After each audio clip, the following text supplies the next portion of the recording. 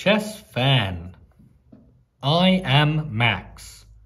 My school has a chess team. Chess looks like a lot of fun.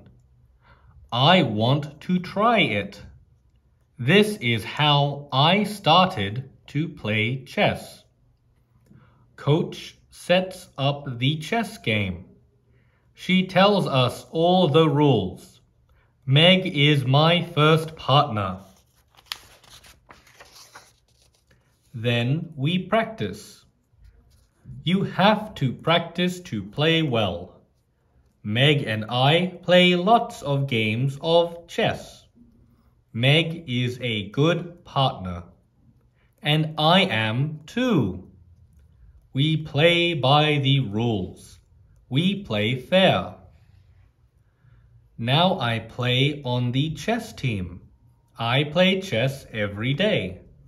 I am such a big chess fan.